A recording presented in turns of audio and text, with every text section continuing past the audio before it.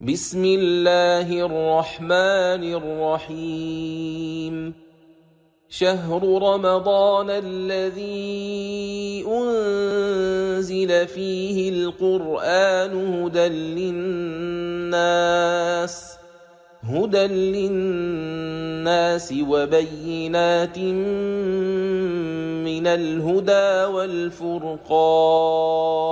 بسم الله والحمد لله والصلاة والسلام على رسول الله. الدنيا دار ابتلاء واختبار والله يختبر الناس بالشدة والرخاء وباليسر والعسر فمن رضي بقدر الله تعالى بما فيه من اليسر والعسر والسراء والضراء فقد فاز ونجح في اختباره. ومن طلب اليسر دون العسر والغنى دون الفقر ولم يحتمل ابتلاءات الله تعالى التي ابتلاه بها فقد خسر وخاب. وفي هذا الجزء من القرآن الكريم ترد آيات تتحدث عن مثل هؤلاء الناس.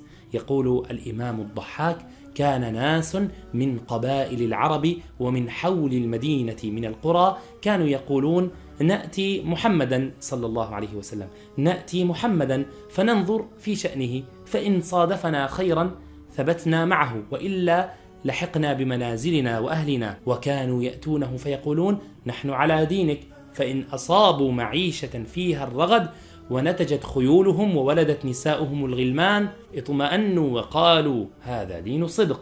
وإن تأخر عنهم الرزق وأزلقت خيولهم وولدت نساؤهم البنات قالوا هذا دين سوء فانقلبوا على وجوههم. نسأل الله السلامة. وعن سيدنا ابن عباس رضي الله عنه قال الفتنة البلاء. كان أحدهم إذا قدم المدينة وهي أرض وبيئة فإن صح بها جسمه ونتجت فرسه مهرا حسنا وولدت امرأته غلاما رضي به واطمأن إليه وقال ما أصبت منذ كنت على ديني هذا إلا خيرا.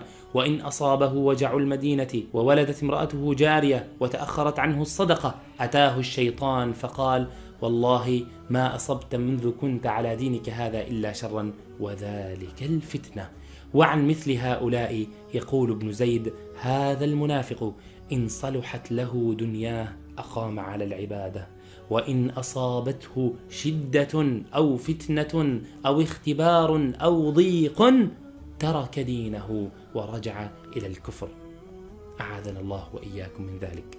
وتبين الآيات أن مثل هؤلاء خسروا دنياهم لأنهم لم يظفروا بحاجتهم منها وخسروا آخرتهم لأنهم معذبون فيها بنار الله الموقدة وتلك هي الخسارة المؤكدة. والهلاك المبين. وقد وردت ثلاث آيات في هذا الجزء. لنذكر أحبابنا الكرام أرقام الآيات واسم السورة الكريمة والحمد لله رب العالمين.